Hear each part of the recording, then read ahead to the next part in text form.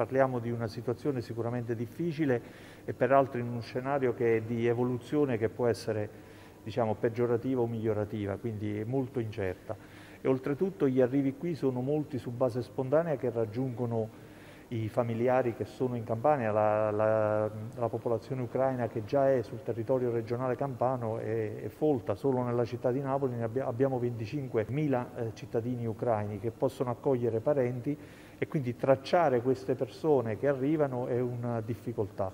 E proprio su questo abbiamo tarato un metodo con la Prefettura di Napoli, con la quale istituire una cabina di regia e con il Consolato Generale eh, dell'Ucraina a Napoli. Noi eseguiamo un tampone antigenico eh, che ha la valenza del molecolare e nel caso dovessero essere positivi abbiamo la struttura di appoggio di portici di competenza dell'AS Napoli 3, è stato deciso stamattina in cabina di regia e, e quindi questo edificio eh, resta comunque libero da positivi Covid eh, e soprattutto eh, approfondiamo anche il ciclo vaccinale perché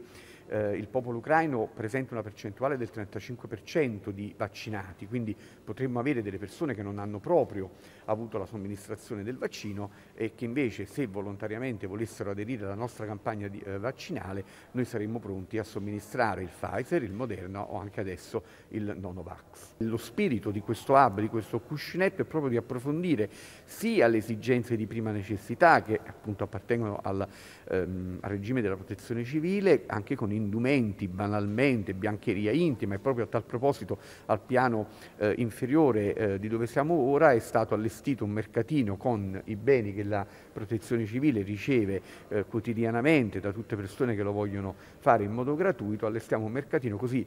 senza chiedere cosa vuoi, si prende e, e si porta via. Eh, questo è importante. E poi invece il nostro ruolo di inquadramento sanitario era proprio legato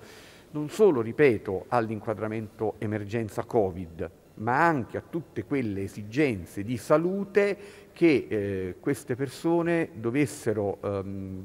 avere perché sono scappati. Quindi banalmente anche un, un'aspirina, un, un farmaco anche banale, loro non ce l'hanno e noi siamo qui anche per questo. Noi abbiamo già eh, diciamo così, i beni di prima necessità che erano nei nostri magazzini, si tratta di beni nuovi, non sono un materiale usato e riciclato,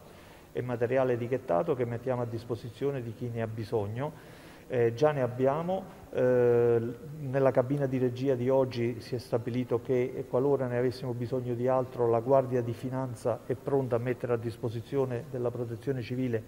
i beni confiscati, eh, per cui diciamo così, eh, ulteriori donazioni in questo momento eh, affollerebbero. Eh, sappiamo qual è la generosità del popolo campano, lo hanno già dimostrato durante gli afghani e già quella generosità ci consente adesso di dare una risposta anche a questa emergenza. Qualora dovessimo andare in affanno saremo noi a chiederlo.